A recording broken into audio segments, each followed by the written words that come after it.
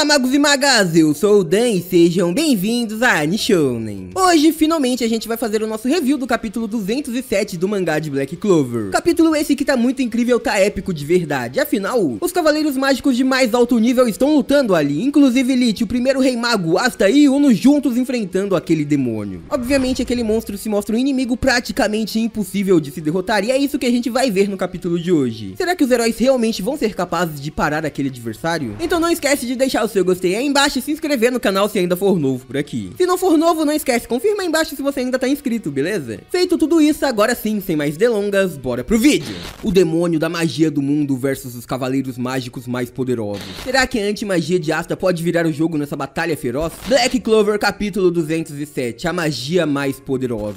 Galera, o capítulo já se inicia com Asta saltando em alta velocidade em direção àquele demônio. O garoto está tentando usar sua espada de anti-magia para o atingir, passando pelo tridente daquele monstro.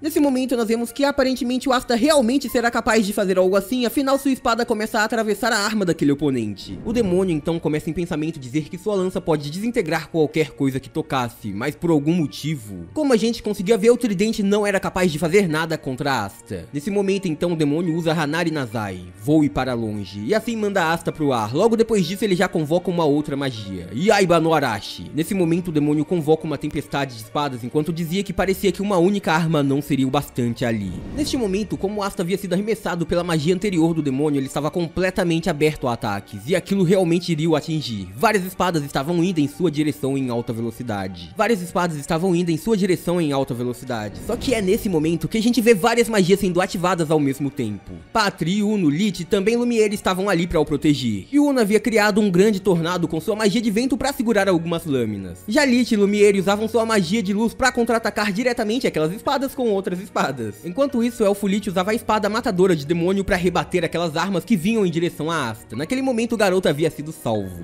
Então, olhando pro Yuni e pros outros caras, o Asta grita, valeu pessoal! E nesse momento, a gente vê que o Yuno estava completamente concentrado prestando atenção em Lich. Apesar do seu poder esmagador, ele não tinha nenhuma aura maligna. A magia dele realmente era como uma lâmina super afiada, então esse era o poder do verdadeiro líder dos elfos revivido. Nesse momento, nós vemos um pequeno pensamento de Lich, mas que calor era esse que estava sentindo? Ele, ele estava envolvido em um sentimento nostálgico, mas não conseguia saber de onde. É então que a gente vê a nossa querida Nero, a pequena Sekire. Ela estava voando em cima de um tridente igual aquele do demônio, por algum motivo ela tinha um também. A garota então grita chamando o príncipe dizendo sobre o seu braço. Ela então começa a voar no ar em sua direção e diz que vai fechar aquele ferimento e selar completamente o dano. Sekire então usa sua magia de restauração do selamento, exaurir o selo, e aquilo realmente curou completamente o braço do príncipe. A gente percebe nesse momento que a magia de Sekire realmente estava num nível extremo extremamente avançada, ela conseguia com certeza selar e abrir qualquer coisa que desejasse, estava num nível completamente avançado. O Rei Mago então olhando para ela agradece muito a Sekirei, enquanto isso vemos o Asta. Ele estava completamente empolgado e com os olhos brilhantes daquilo, era o esperado da companheira do primeiro Rei Mago, Sekirei era incrível sem dúvida. Nesse momento ele vai correndo atrás dela completamente feliz. O garoto começa a dizer, falando nisso, hum, eu sinto que não é a primeira vez que a gente se vê, não é? Asta segue dizendo que ela passava uma sensação de que eles já se conheciam de algum lugar. Nesse momento a gente vê uma uma das cenas mais fofas de Black Clover. Sekirei estava apertando as bochechas de Asta, dizendo para ele se concentrar nessa batalha, enquanto o garoto gritava, ai ai ai, o que, que você tá fazendo? Nesse momento nós vemos no ar o demônio, que também estava impressionado com a magia de Sekirei. Ele diz que ela era até mesmo capaz de oscilar, e essa era uma habilidade extremamente útil. Mas o demônio segue dizendo que mesmo assim ele tinha sua magia do mundo. E as magias de um bando de insetos que não possuem grimórios do trevo de quatro folhas são completamente inúteis contra seu novo corpo. Nesse momento nós vemos Sekirei irritada com isso, mandando aquele monstro calar a boca. Isso fazia ela lembrar de seu passado.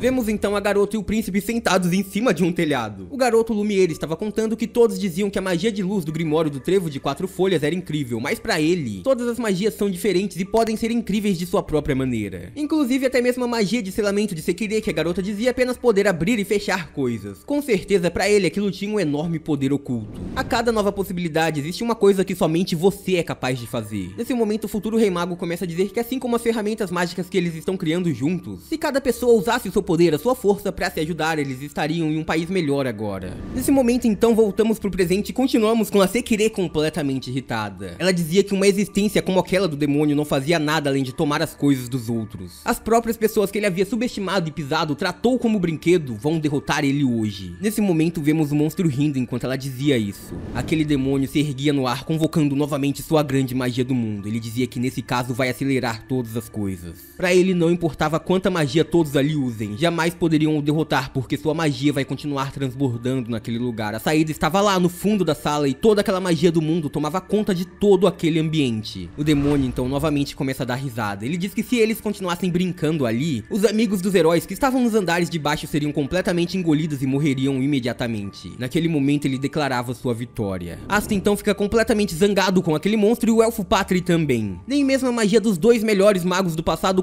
conseguiram vencer aquele monstro, então ataques comuns não vão fazer nada, nem mesmo arranhá-lo. Nesse momento nós vemos a espada de Lich, o elfo estava ali dizendo que nem precisava falar. O grande ancião do clã dos elfos diz que juntos todos usariam um ataque com todas as forças unidas. E isso não vai deixar nenhum rastro daquele demônio para trás. Naquele momento vemos mais uma das habilidades incríveis de Lich. Ele ergue sua espada dizendo vou pegar seu poder emprestado. Isso deixa Patri e também Uno completamente chocados ali. Naquele instante, nesse exato momento a gente muda de ambiente, estamos num dos andares de baixo. Vemos Fuego Leão Vermilhão fugindo na salamandra, tentando escapar daquela magia incrível do mundo que consumia tudo. Aquilo estava consumindo todo o andar sem deixar nenhum ponto escapar e tudo que aquele cavaleiro mágico incrível podia fazer era subir para os andares de cima se não seria completamente consumido. O capitão dos Reis Leões Carmesim se perguntava o que era aquilo, era como se essa magia não fosse desse mundo. Nesse momento a gente muda novamente de cenário e a gente vê Charme conversando com sua nova magia. Eles estavam dizendo, você viu aquele vilão com cara de coisa gostosa? Este é realmente um poder de bom apetite. Do outro lado, novamente ainda dentro do palácio, a gente vê Charla e Yami. Eles estavam se perguntando o que estava acontecendo com a elfa que estava brilhando nesse momento. Podemos notar que todos os membros do clã dos elfos estão passando por isso também. Nozel e Mimosa haviam notado a mesma coisa e havia um poder insano vindo lá de cima. Nesse momento, todos percebem que aquele era Lich, convocando o poder de todos os elfos. Todos aqueles seguidores de Sephiroth estavam enviando todo o seu poder para aquele elfo. A gente via um a um todos daquele poderoso clã enviando seus poderes a Lich. Nesse momento, o líder daquele clã diz ao demônio, tome isso, a fúria dos elfos.